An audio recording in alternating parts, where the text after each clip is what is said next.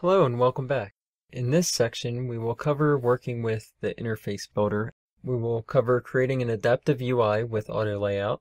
We will look at constraints and how to use them in Xcode 9. We will see how we can troubleshoot constraints and where we can view more detailed information about constraints. And we will see how we can use the assistant editor to preview our different layouts. In this video, we will cover creating an adaptive UI with auto layout. We will take a look at what an adaptive UI is and how we can start building one.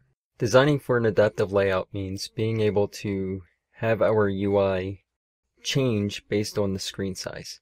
So here we have device orientation and we can see portrait upside down, landscape left, and landscape right. We're going to uncheck the landscape ones and just design our app right now for portrait go to entry list, storyboard, and we can see that we have our portrait mode and our table view, but down at the bottom here we have different size screens. We have our iPad screens and our iPhone screens.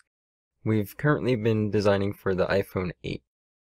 But if we select the iPhone SE, we can see how our UI in our main storyboard changes. We can also select the orientation and see how it changes.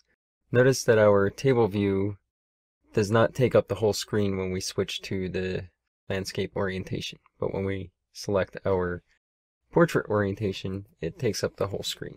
There's something called auto constraint that will allow us to adapt to these different screen sizes.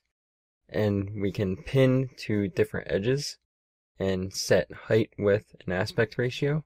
And we can also choose alignment such as horizontal and vertically within the container.